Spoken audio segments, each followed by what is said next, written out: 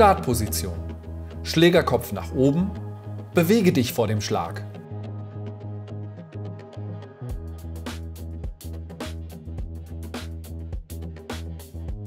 Split Step. Landung auf den Fußbein im Moment des gegnerischen Schlages. Bewege dich nun zum Ball. Letzter großer Schritt seitlich nach außen. Gewicht auf den rechten Fuß.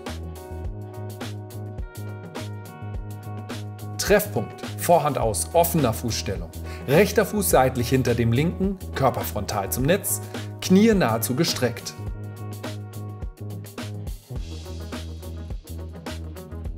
Endposition, Blick über den Ellbogen zum Netz.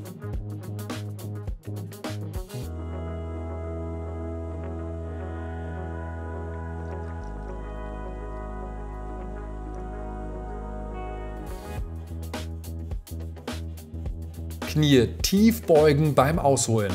Möglichst breiter Stand.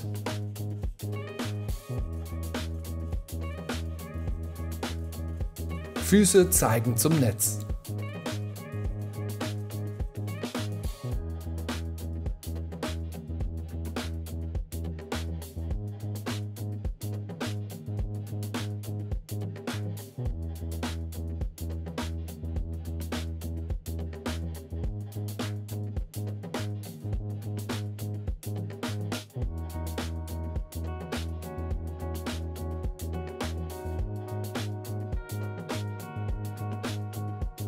Trainingsaufgabe.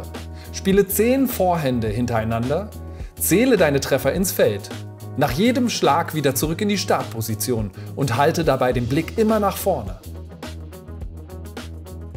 Mehr als 5 Treffer im Feld gelandet? Dann stecke dir Zielfelder ab, in die du die Schläge platzierst.